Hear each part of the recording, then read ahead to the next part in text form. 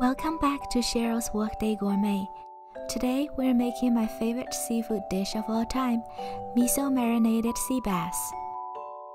The marinade uses just three simple ingredients, sake, mirin, and white miso. Combine 1 tablespoon of sake with 2 tablespoons of miso. Mix until smooth and add a quarter cup of mirin. Because the marinade is super simple, it's best you don't substitute any of the ingredients. But if you're in a pinch, you can substitute mirin with 1 tablespoon of sugar and 3 tablespoons of sake. Taste the marinade once mixed. Depending on how salty your miso is, you might want to add an additional teaspoon of sugar to balance it out.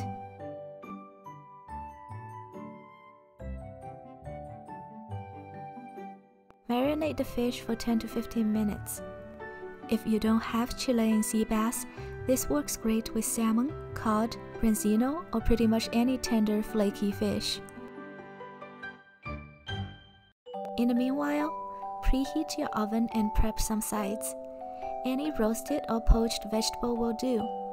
I'm using bok choy and shiitake mushroom, but snow pea or string bean work great too.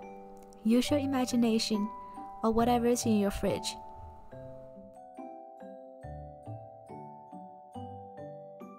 Here's a goofy trick to prepare your mushrooms.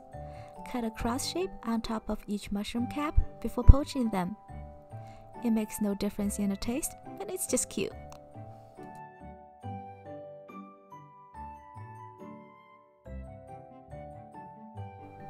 Bake the fish on the rack at 400 degrees for 10 to 15 minutes or until surface is lightly brown. By the way, you can totally pan sear this for 5 minutes per side on medium heat. Baking is just more foolproof and no grease. Flip the fillet and bake for another 10 to 15 minutes, or until surface is lightly brown. Feel free to adjust time based on the thickness of your fillet.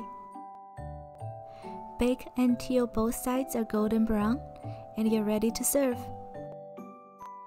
Super simple, but I promise it tastes better than it looks. If you like my videos, please like and subscribe. For more easy workday recipes, follow my blog. See you next time.